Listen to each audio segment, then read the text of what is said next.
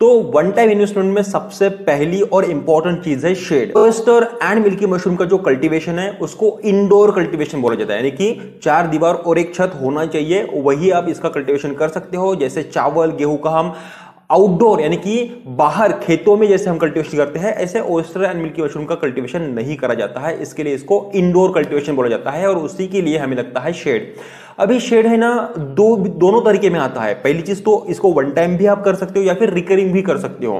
For example one time में कैसे अगर आपने समझो शेड बनाया उसमें भी अगर आ, लोहे का शेड बनाया उसमें लोहा सीमेंट सब कुछ यूज़ कर लिया पक्का शेड बनाया लाइफ टाइम या फिर अगले चालीस पचास सालों चलने वाला है तो वो वन टाइम कॉस्ट में आ गया। या फिर उसमें कम खर्चे वाला सुझाव ये भी होता है कि अगर आपने बांबू घास बोरिया ग्रेनेड का यूज़ करके अगर आपने शेड बनाया वो अगले तीन चार पाँच साल चलने वाला है उसमें लगभग चालीस पचास हज़ार की कॉस्ट आ सकती है तो वो भी एक वन टाइम कॉस्ट हो सकती है।